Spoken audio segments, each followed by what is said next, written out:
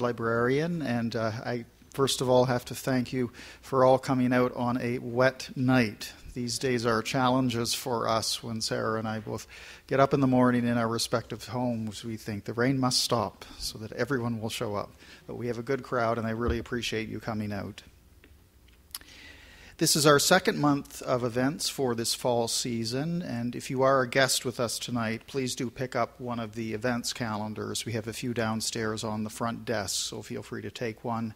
It just came out uh, in the last couple of days, and we have more programming through December. Before I introduce our speaker, Joshua Kendall, may I ask you to uh, take a moment, and if you have a cell phone or a pager, just take it out and silence it so it won't ring uh, during our event this evening. And we do record these events too, so it's wonderful when they can appear on the internet without telephones going off. This is the time of the year that we do ask our members to support our annual fund, and your contributions as members are really critical to supporting the library. They help us uh, plan uh, events like this evening's biography talk, uh, build our collection of over 300,000 books, uh, run a children's library, provide readers services, and everything we do here, here at the library. So thank you very much for your support. We do have copies of Mr. Kendall's book for sale tonight. Our friends from the Corner Bookstore up in Madison are here tonight, and they'll be happy to sell you a copy after uh, the event. And Mr. Kendall will also uh, be willing to uh, sign your book. When you think of the Society Library, founded in 1754, you would be correct to say, well, they've probably been collecting dictionaries for a long time. We've had them from the very beginning, and we actually still have a number of very interesting dictionaries from the 1700s and 1800s. I'm happy to let you know that we actually still own a copy of the two volume Noah Webster American Dictionary of the American Language from the year 1828. I was able to wrestle it out of the hands of the Rare Book staff this evening, and we have it on display here. And after our event, do feel free to come up and look at it. I'll be happy to explain it to you.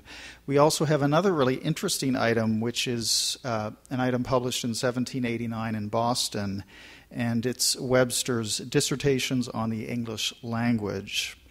And it actually was a gift to the Society Library from the author, and uh, his penmanship is inside, so you can have a look at that. We have lots of great treasures in our special collections uh, like this. Our speaker tonight has been on a book tour uh, across the country. I believe that's correct. And he's had the pleasure of visiting many libraries like the Society Library. We have an association of membership libraries across the country, and Mr. Kendall has been at the Athenaeum of Philadelphia on this tour. He's been to St. Louis to visit the Mercantile Library. He's been in Salem at the Athenaeum, and he's been in Newport at the Redwood and he is also a member of the Boston Athenaeum, our colleagues up in Boston, and he spoke there as well. So we are really happy to have him rounding out his uh, tour of the society uh, and membership libraries across the country. Our author was born in New York City. He calls Boston his home now. He received his bachelor's degree from Yale, where he studied comparative lit. He also did graduate work in comparative lit at John Hopkins, Johns Hopkins. And for his excellence in reporting on psychiatry, he has received National Journalism Awards from both the National Mental Health Association and the American Psychoanalytic Association. He is currently an Associate's Fellow of Yale's Trumbull College, and Mr. Kendall is also the author of a biography of another fascinating lexicographer, the author of Roget's Thesaurus. So please welcome Joshua Kendall.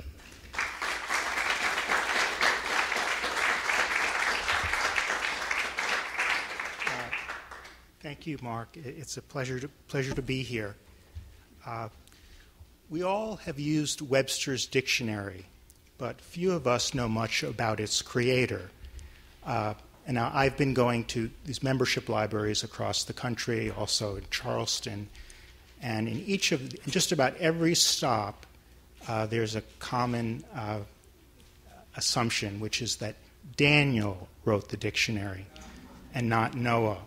At the Boston Athenaeum, my home base, uh, as soon as you walk in there, there's a big portrait of Daniel, and people say, hmm, that's the dictionary guy. And uh, Daniel was a, was a Secretary of State and an eminent uh, and a senator, but he was not a dictionary guy. Uh, and the point of my book is to say two things that, uh, that it's Noah, not Daniel.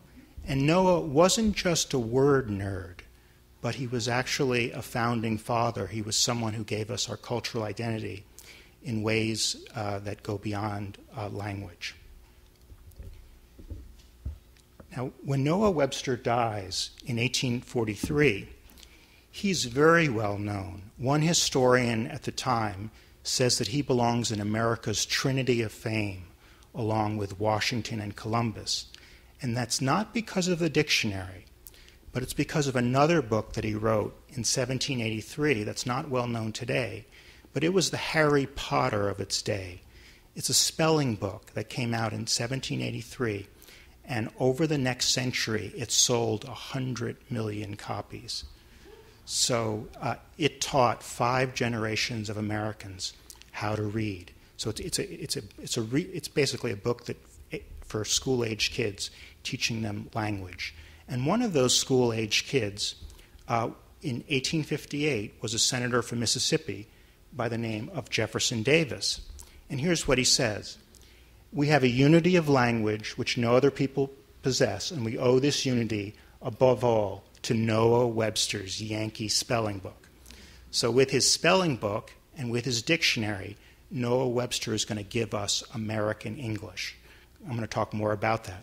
I have a little note there about Confederate spellers, because those of you who know your history know that three years later, Jefferson Davis became the president of the Confederacy uh, at the Boston Athenaeum. And by the way, the Boston Athenaeum is actually a sister institution, and my Boston Athenaeum card allows me to take out books from here. And those of you who are members can also come to Boston. And I just want to let you know. Anyhow, one of the wonderful things that the Athenaeum has is that it has the world's largest co- collection of Confederate books and, and imprints. And during the Confederacy, Jefferson Davis, his day job was to kill us here in New, in, in, well, in New England in the North. But he still loved Webster's speller.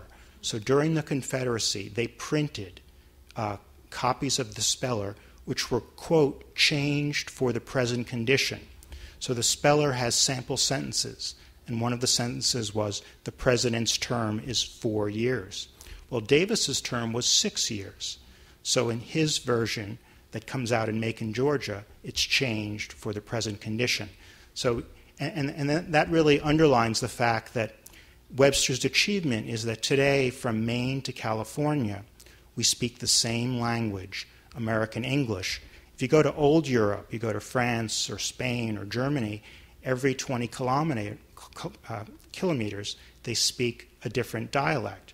We don't have dialects, uh, and that's uh, thanks to Noah Webster.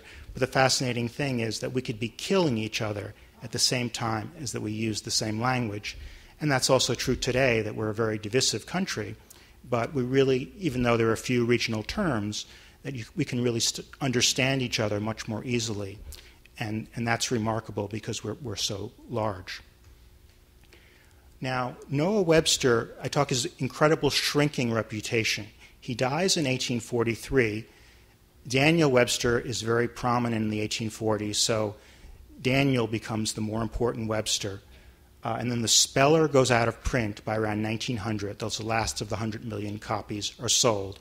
And Noah Webster also has another problem that he's very crotchety.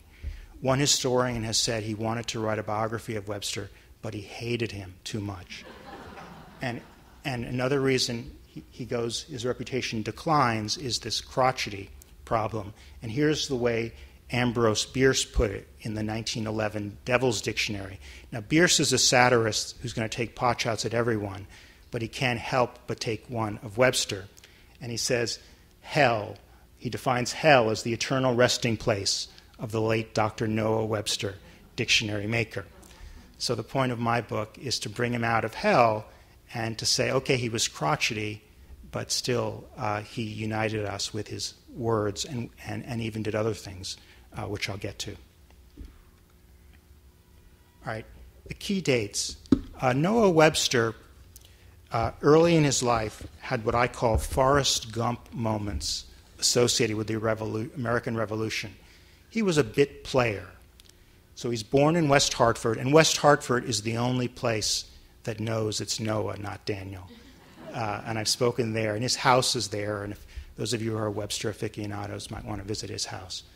Uh, he goes to Yale, and in his summer vacation from Yale before his senior year, he fights in the Battle of Saratoga. That's one of these Forrest Gump moments. He and his father and two brothers are bit players in the Battle of Saratoga. Those of you who know your American Revolution know that that's basically the only battle that we won, and that battle was pivotal in getting the French on our side. So Webster was always proud to have been there kind of the creation of the American nation. Uh, another Forrest Gump moment is in 1775. George Washington comes to New Haven, and Webster greets him. Washington is en route to Cambridge, where he's going to take over command of the Continental Army, and Washington is soon to become an important figure in Webster's life. They're going to have a real relationship, but in the 1770s, Webster is just a bit player. He's the head of the Yale militia and plays his flute uh, when Washington uh, comes to town. All right, I told you about the speller. The official title is a Grammatical Institute of the English Language, uh, going back to John Calvin. Uh, and really, it's a three volume, it's a three parter. The speller itself is the big seller, but it also has a grammar and a reader. Now, in 1785, now Webster, part of this crotchety is that he's very arrogant and he always thinks he knows everything, and sometimes he's absolutely right. And in 1785, he has a national platform because the, seller, the speller is selling. And he says he knows what's wrong with America. And when he has an idea, he goes for it. And he writes a pamphlet called Sketches of American Policy. And he's very upset because America is then very divided. So, what he's trying to do linguistically is unite us with a language, but he realizes that America is also very politically divided. And he writes this pamphlet and hands it to George Washington and goes to Mount Vernon and tell, and this Yale whippersnapper, who's about 26 years old, goes to tell George Washington, who's then the first farmer. Washington's in between the revolution and his presidency. And he goes to tell the first farmer what to do to fix America. And that's how my book starts with Webster on his horse going to tell Washington uh, how to solve America's problems. And I'll come back to that. Then in 1787, I'm calling him a forgotten founding father because in 1787, Webster is at the Constitutional Convention.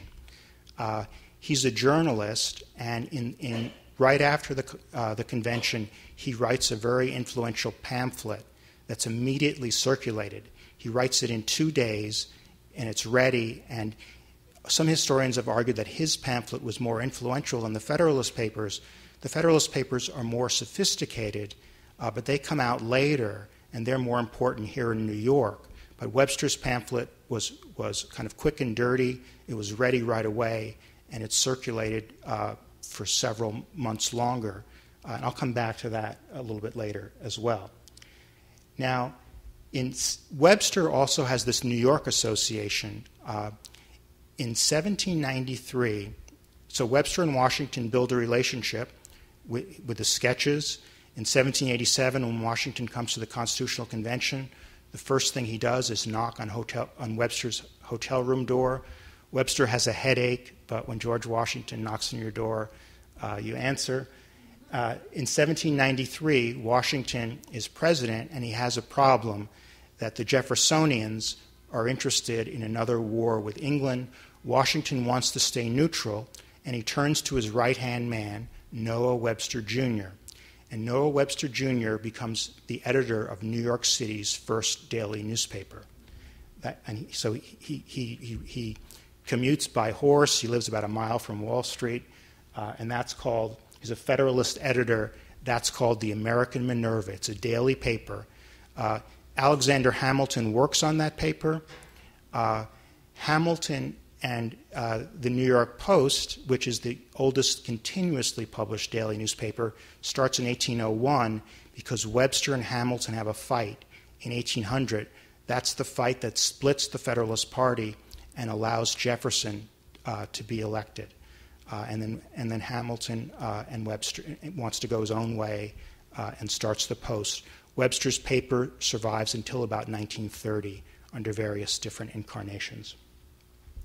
Now, Webster makes a lot of money. He's a very good businessman. I'll be coming back to that. Uh, his speller is selling. His newspaper is doing very well. So in 1798, he retires.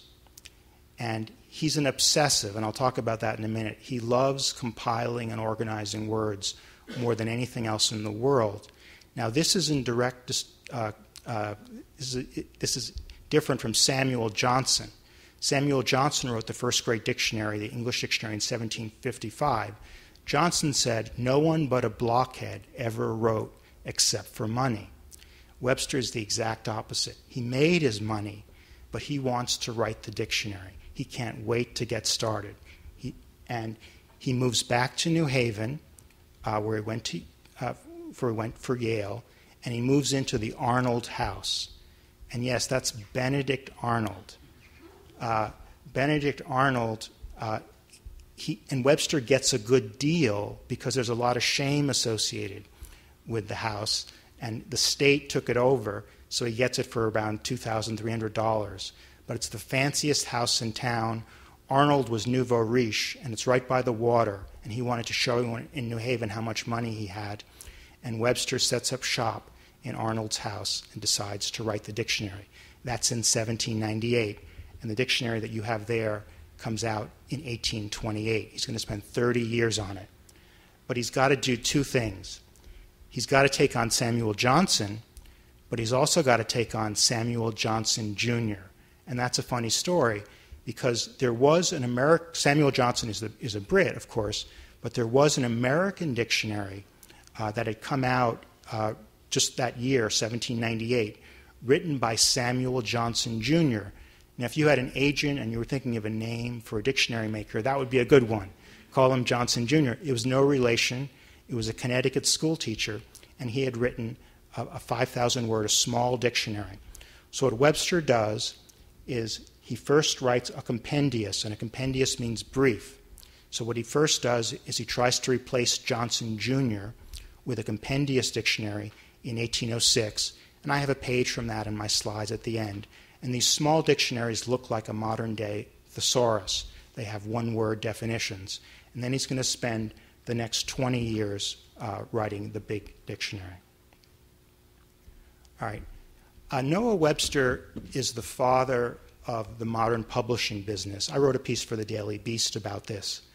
Uh, so he has the speller, and it's the first book published in the new United States of America. We don't have a constitution, and the states have all the power. So, what Webster does is he's afraid of piracy, so he personally goes around to every single state and gets copyright law passed. And as he does that, he has the first modern book tour. And he goes from Massachusetts to South Carolina. And I've tried to go to many of those same stops. I was also in another library I went to, it's in Charleston, uh, in the first modern book tour. And he, he's, he's, a, he's a mocker and a business maker, and he gets blurbs. He gets a blurb from Ben Franklin, blurbs, the book you have there. And the book you have there, the dissertations, is based on lectures that he gave in the mid 1780s during his book tour when he was trying to sell uh, copies of The Speller. So, blurbs. He tries to get a blurb from Washington, but Washington declines. He's shameless. He'll, and for the dictionary, for the 1828 dictionary, I found a letter where he's asking John Marshall, the sitting Chief Justice of the Supreme Court, for a, for a blurb. Uh, but Wash- Marshall also doesn't give him, give him one. Uh, also, uh, the publishing business, in 1788, he's here in New York for a year. Uh, before he go, right after Philadelphia, the Constitutional Convention, and he starts something called the American Magazine, uh, which was one of our early literary magazines, maybe the Atlantic Monthly of its day. And it was, and one of the wonderful things about the Athenaeum, I mean, George Washington may have checked out books from this library, but George Washington's books are in the Boston Athenaeum. They have uh, about a third of his library. So I, I got to look at his personal copies of Webster's books. So I got to look at George Washington's copy of this American magazine. And also, remember I told you that he goes to Mount Vernon and hands George Washington a copy of Sketches of American Policy. I also got to touch that. In case you're interested, Washington was not an underliner. Uh, so there's not a lot of action there. Uh, there's just G. Washington. Now, Webster is also a savvy businessman. So he's an ardent Federalist and he's an ally of Washington, but he's always looking at markets, and I'll come back to that. But when the uh, in June 25th, 1788, New Hampshire becomes the ninth state to ratify the Constitution. So we now have uh, the Constitution. Webster is excited because he worked for it. He wrote the pamphlet and he's, he was there at the convention. But he's also immediately thinking about the business angle. Remember, he went to all the states and got state copyright law passed. Well, under the Constitution, there's going to be national copyright law. So that very day, he writes to one of his publishers This, meaning the Constitution, will allow me to enter into new contracts with regard to the speller. And he signs basically the first blockbuster deal uh, in American publishing uh, soon thereafter. Right, now we come to the tricky question of Webster's character. I talked about him being crotchety, and that's one of the reasons he fell out of favor. Uh, Joseph Ellis, the eminent biographer, says he's not the stuff of American mythology. He, was, he, was, he could be very nasty. Uh, he was a loner. One of his best friends for, uh, was a fellow named Joel Barlow, who he went to Yale with, who became an epic poet uh, in, the, in the late 18th century. He was friendly with Barlow for about 30 years, and one, and, and uh, one day he just wrote Barlow, say, I want, I want nothing more to, to do with you, because Webster became religious and Barlow wasn't. He said, You're an atheist, I want nothing more to do with you. Two years later, he writes him a letter and asks him for a favor, pretending as, as if nothing ever happened. So that's the kind of guy. So Jill Lepore, looking at that kind of behavior, goes a bit further and says, well, he's no Joseph Stalin. But just the fact that you have to say that, she says basically he wasn't an evil man, he was an unlikable man. And I think what, what makes biography exciting is that people are complex, and I think biographers tend to either idealize or demonize figures. And I think what I'm trying to do in this book is say that, okay, he was crotchety, but he also, but he also had these great achievements, and maybe even there's a relationship between the personality disorder and the achievement. And I argue that he had what psychiatrists call obsessive compulsive personality disorder. He loved order, rules, and lists. Now, that's not the same as OCD, obsessive compulsive disorder. People with OCD have trouble leaving the house. Uh, they, they're afraid that the house is going to burn down, and they're really anxious and they'll check the, they'll check the, the stove a thousand times and they're never sure. They're not going to write a dictionary. But these high, but obsessive compulsive personality disorder, those people have tremendous amounts of energy. And I did a piece for Psychology Today, and people with OCD often seek treatment because they have difficulty functioning. They'll, they'll try medication or therapy. But as I argue in that piece, people with OCPD, with the personality disorder, they tend to drive other family members into treatment, uh, like their wives or their children. Uh, and Webster had a son who had lifelong depression, and I had a sense it wasn't being easy being his only son. He and Rebecca Greenleaf, I, ha- I had a, uh, something about her up there. He meets her. He meets his wife at the Constitutional Convention, and I call that courtship at the Constitutional Convention. And Rebecca Greenleaf is very wealthy. She comes from a Boston family of 15 children. So Webster, uh, in part, followed the, the he, he and the, the person I wrote about in my last book, Peter Mark Roget of the Thesaurus, both made one, uh, had a lot in common. One of the things they had in common is they both married rich, and, and that helped them uh, with their literary careers. And I want to say about Webster is that he's a compiling and organizing machine. So it's not only words. But remember on that book tour, he, during his off days on the book tour, he would do a personal house count of the number of houses in every major American city. And I have that list that I fished out at the New York Public Library. So New York had about 3,300 houses. New York City then was just the Wall Street area, so you could walk around in a, in a few hours. And, and that data set was later fo- folded into the first census. But he just loves organizing and compiling. And one of the things I've said in some interviews is that for most of us, the task of writing a dictionary from scratch or of or thesaurus from scratch would drive us crazy. But for my guys, it may well prevent them from going crazy. It organizes them and grounds them. Uh, he also was a public health expert. Uh, here in New York in the 1790s, there was the yellow fever that was killing people left and right. And Webster was the editor of New York City's first daily newspaper. He immediately uh, sent out a survey in the newspaper that, and, and that's basically the, the, the, foundation of public health research. So, in the Arnold House, his first book is a brief history of epidemic and pestilential diseases. Now, brief for Webster is 700 pages, but it's this major public health treatise that William Osler has said was the most significant uh, work by a, a non medical person you know, on a medical topic in the 19th century.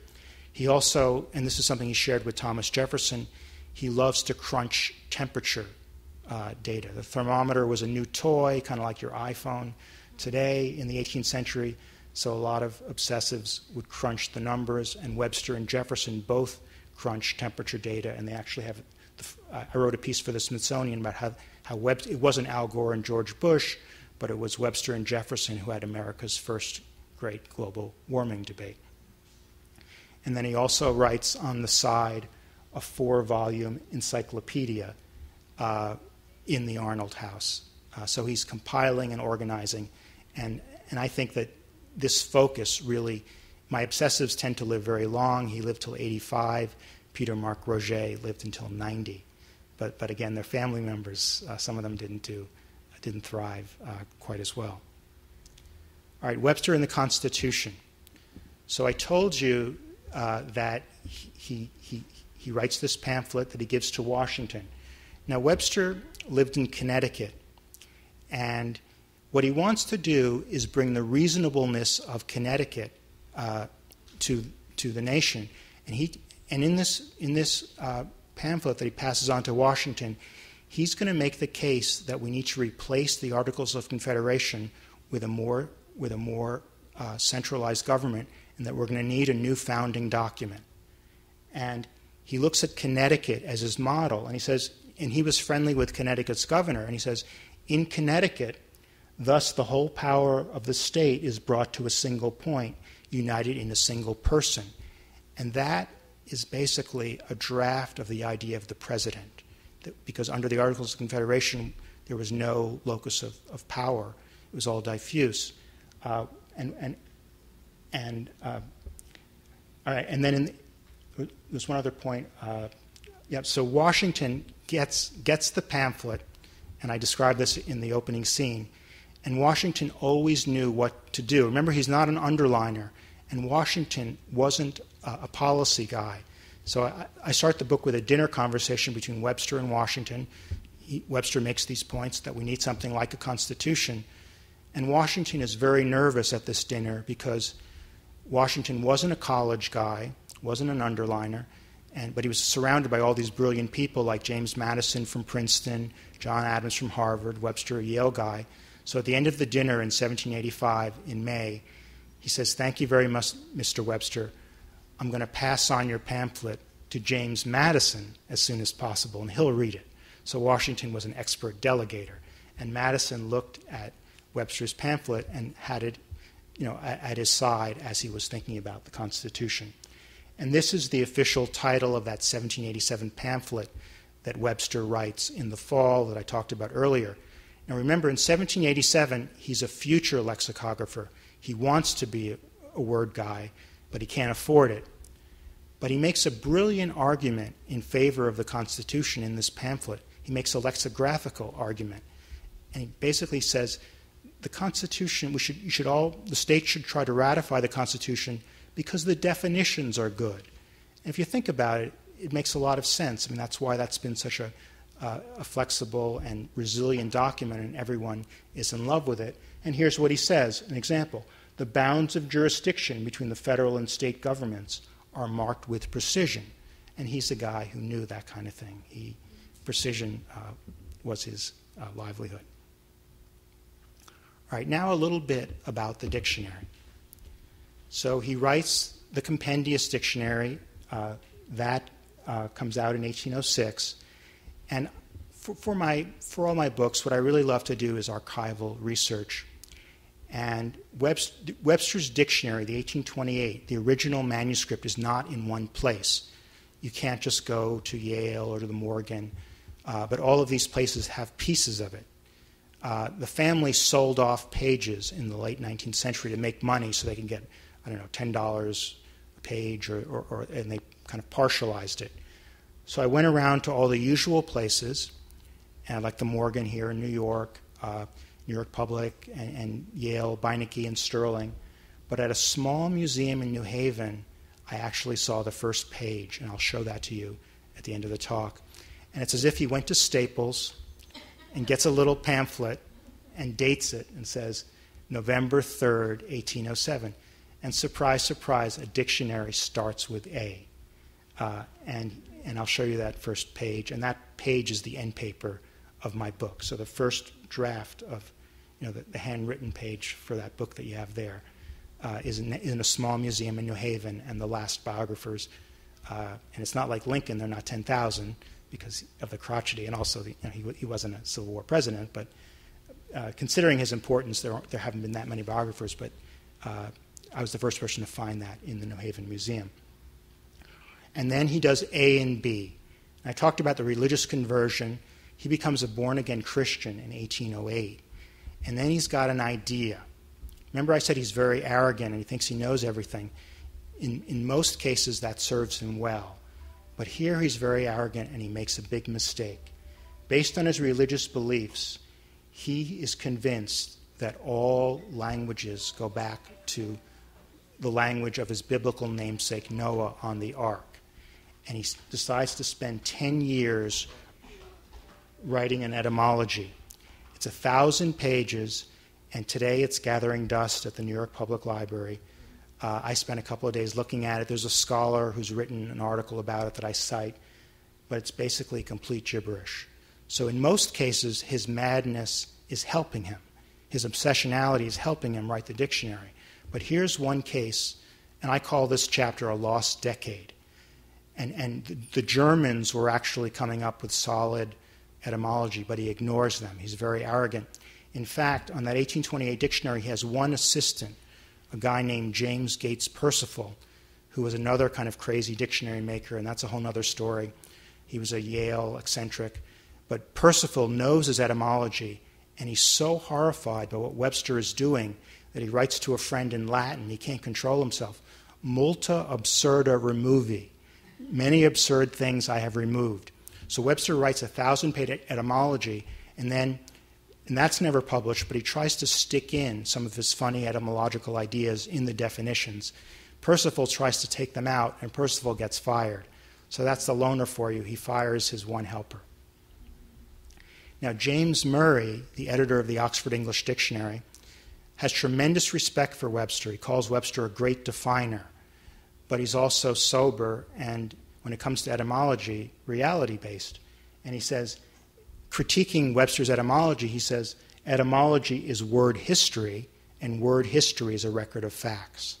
Webster isn't interested in facts. In those thousand pages, he has one speculative hypothesis which he backs with another one, and he's always right, and there's no uh, empirical testing. Uh, in, and I love reading his letters, so in 1817, I'll read his letters and I'll, and I'll say, well, now I'm up to, back to C. So that's how I get uh, these comments. And in 1821, he's up to H. Now, a little bit about his method. The New York Public Library has the 1799 copy, Webster's personal copy of Johnson's dictionary. Uh, and that has annotations. So Johnson's dictionary comes out in 1755. Johnson dies in about 1784 but it's constantly being expanded. And what was thrilling was to see what Johnson's 1799 is about 58,000 words. Webster's dictionary is going to be about 70,000 words. And what he's going to add is he's going to add a lot of terms from science and technology. Uh, but there are these little black marks on Johnson's dictionary. And Webster absolutely hated Shakespeare. Remember, Johnson and Webster have different sensibilities. Johnson has the soul of a poet, and he's always quoting Shakespeare uh, for his definition. Webster wants to cite of a lot of American authors because it's an American dictionary, but he absolutely hates Shakespeare. And this goes back to his Yale days because in the 1780s, uh, drama was considered uh, two steps away from sex. Yale students uh, would be penalized for attending a play or penalized twice as much for performing in a play. And what Webster does is he has these little black marks. I mean, I'm not going to cite Shakespeare here, but what he does in that 1828 dictionary is he blames Johnson for the dirt, blames Shakespeare for the dirty words in the English language. So if you look up in that book under whoreson, son of a whore, he's just going to write shack, S H A K. He's not going to quote Shakespeare, but it's just like, okay, that's Shakespeare, dirty word that you can blame Shakespeare. So yeah, that's part of his religious conversion. And that 1828 uh, dictionary is also going to have his religious ideas. He's going to define marriage as a covenant between man, woman, and God. So, and I'll talk a little bit about how the dictionary has evolved. All right. So his method, he's, he's leaning on Johnson, and he's also leaning on Ro- Robert Ainsworth, who wrote a Latin English dictionary and, I, and the Morgan Library has Webster's annotated pages of Ainsworth's dictionary, and I uh, show one of those pages in the biography. And he also has a lot of scientific encyclopedias, and he's going to be adding all these scientific terms, and, and that's also going to define America as a country that we're a very, you know, we're, we're, tech, you know, we're that, today we're the head of technology. That's really what America has been about, and the dictionary is going to really be a statement not only about the American language, about American culture and interests. And these decisions that Webster are, makes are going to have far reaching consequences. All right.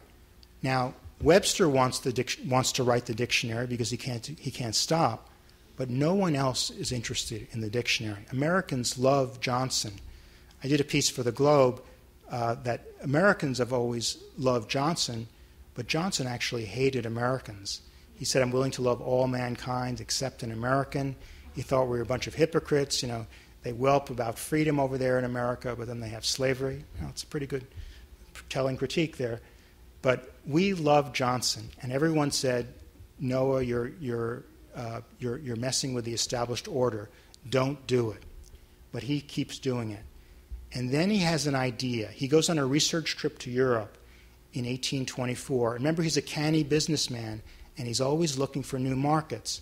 And one of the things about Webster and other obsessives is they're full of contradictions. So remember, in the 1780s, it's all about American nationalism. In the 1820s, the problem is how to, how to market his dictionary. And he completely changes his tune.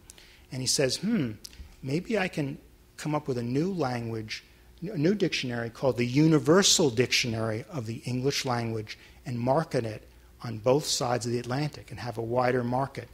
So while he's in England, he wants to set up a conference between Oxford, Cambridge, and him to decide what universal, uh, you know, what this universal English would be.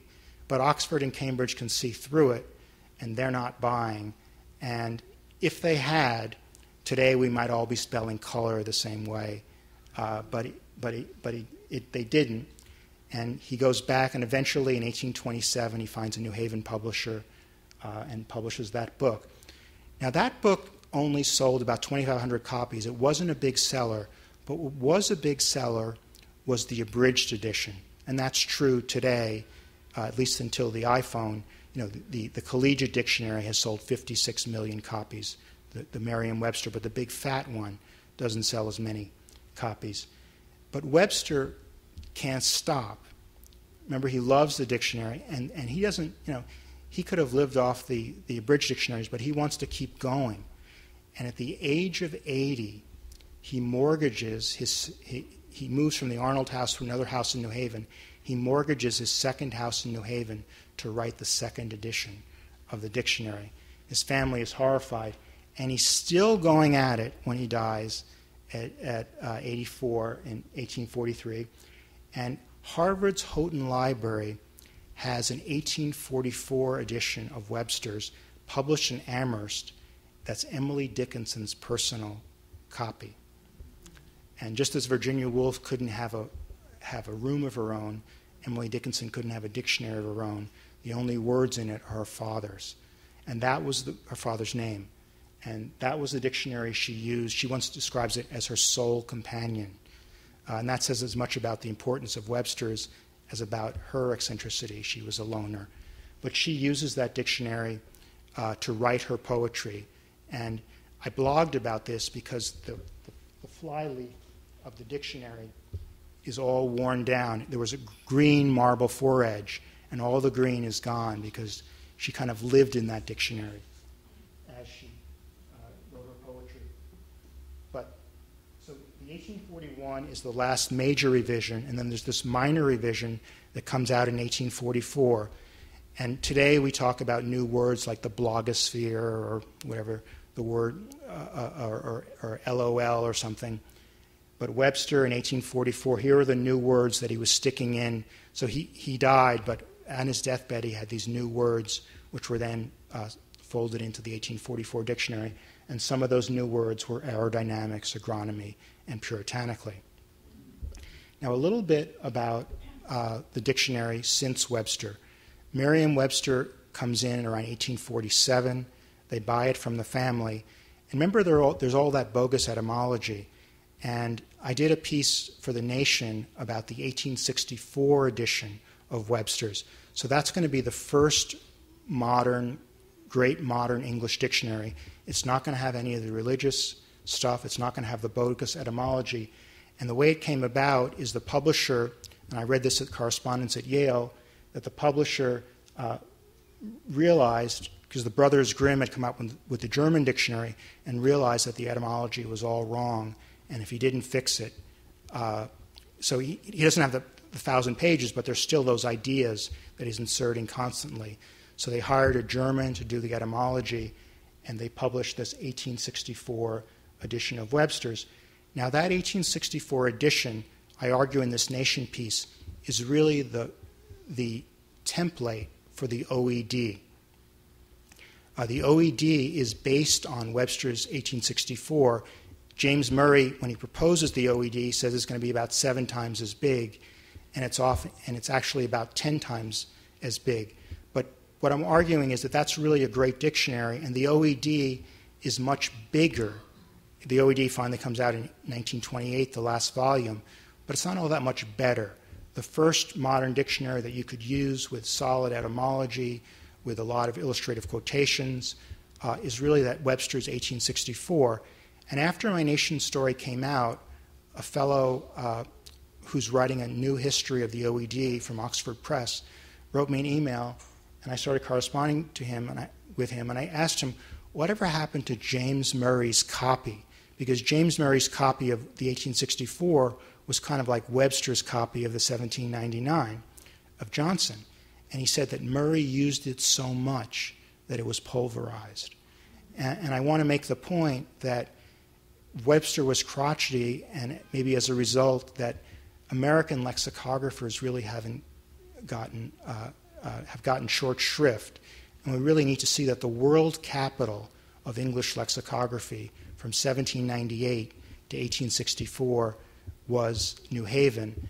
And I make a joke for those of you who know about literary criticism that you know a century before we had Yale's hermeneutic mafia, we had their lexicographical mafia in the 1860s that, the, that that 1864 was half of the Yale faculty got together and wrote that dictionary. And one of the contributors was W.C. Minor. Those of you who are hardcore word nerds will re- remember that name. W.C. Minor is the madman in Simon Winchester's bestseller, The Professor and the Madman. And that's about the correspondence between James Murray, who I've talked about, the editor of the OED, and his right hand man, who wrote thousands of illustrative quotations from his cell in an insane asylum. He was a Yale student who went mad and was locked up in a British insane asylum. Well, Winchester, as a Brit who thinks that Americans don't know much about lexicography, never looked at the 1864 because Minor's name is in it. And I went back into the files and I found Minor's contract that, that the future star of the OED actually worked on Webster's 1864. But there's even more than that, is that the 1864 was revered. Uh, every publication uh, wrote glowing reviews. No one had ever seen anything like it. Uh, but the one weak link was W.C. Minor. And people came after him and saying his definitions were lousy. And they were. He wasn't a good definer. For the, uh, for the OED, what he does is he compiles illustrative quotations. He doesn't actually do definitions. Uh, so the fellow from England, when I, when I relayed this information to him, he said, Well, that James Murray, he always knew what to do. He gave Minor the right assignment. He didn't trust him with definitions. But the point that I want to make is that the future star of the OED couldn't cut it as an American lexicographer. And I think that we need to be proud of Noah Webster, crotchety or not, and our American lexicographers. All right, thanks very much.